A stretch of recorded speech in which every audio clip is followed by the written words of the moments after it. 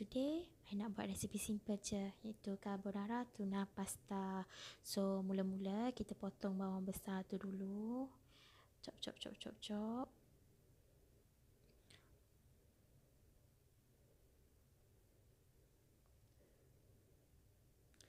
Lepas tu ambil air kowe yang panas tu, tuang dalam periuk.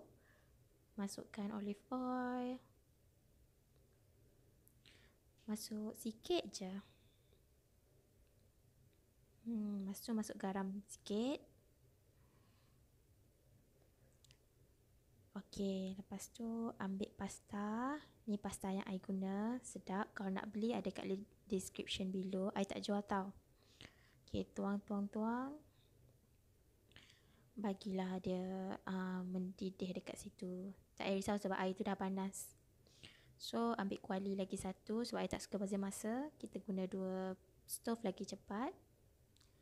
Tuang sikit minyak untuk kita nak tumis uh, bawang. Masuk bawang.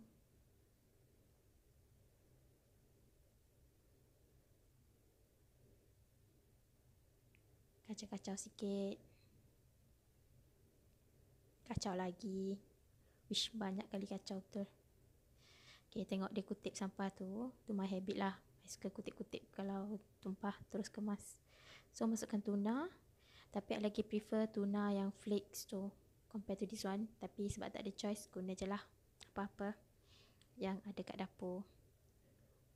Masuk dalam 2-3 sudu macam tu. Lepas tu kacau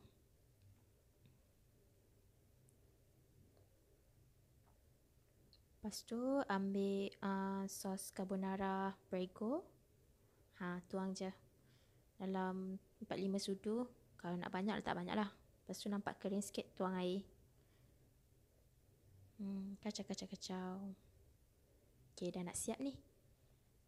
Masukkan uh, black pepper. Kalau rasa nak pedas masukkan banyak. Tapi depends lah dekat you, you all punya taste. Hmm, masuk banyak juga lah sebab air suka pedas.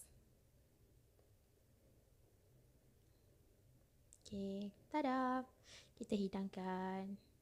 Masuk dalam pinggan. Okay, bagi cantik sikit. Touch up sikit. Uh, okay. Tuang kuah dia. Yeay, dah siap.